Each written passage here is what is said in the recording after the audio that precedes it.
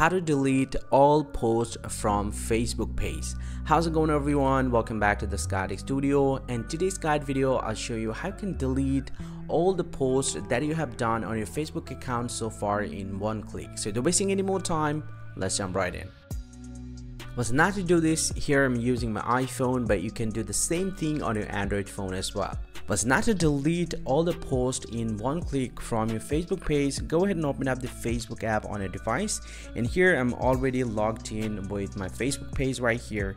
And the very first thing that you have to do is simply go ahead and tap on this menu button at the bottom right and then go ahead and tap on your profile right here and once you're here inside uh, your Facebook page you just need to scroll down a little bit and uh, you'll get to see your post section right here. And you'll get to see the manage post option. You just need to tap on that and he'll get to see few different tab at the top right here. So you just need to tap on published right here and you'll get to see all the posts that you have published on your facebook page so far so i don't have much post on this page. So if you have a lot of you'll get to see all these right here. So not to delete all of this from here just need to tap on select all right here and your all post will be selected. Then tap on edit right here and you'll get to see the second option right here move to trash it says item in your trash are deleted after 30 days.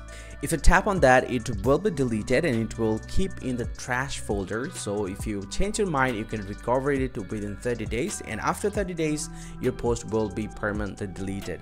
So guys, uh, this is how you actually can delete all the posts from your Facebook page. Hope you find super helpful. If you do, please drop a like and subscribe to this channel. See you guys around and thank you very much for watching.